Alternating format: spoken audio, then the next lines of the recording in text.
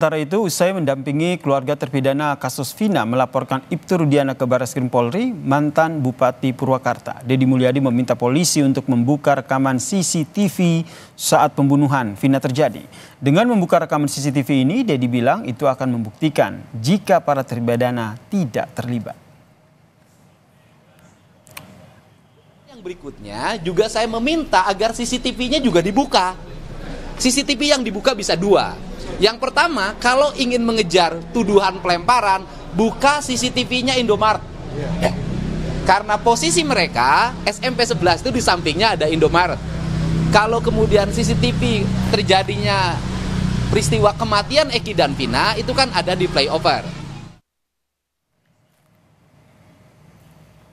Kuasa hukum bersama dengan enam terpidana kasus Vina dan Eki mendatangi Barasin Polri untuk melaporkan Ibtu Rudiana. Dalam laporannya, keenam terpidana diduga alami kekerasan fisik hingga psikologis saat penangkapan. Usai menjalani pemeriksaan selama hampir lima jam saudara, laporan atas nama Hadi Saputra ini sudah diterima dan akan diproses Baris Krim Polri.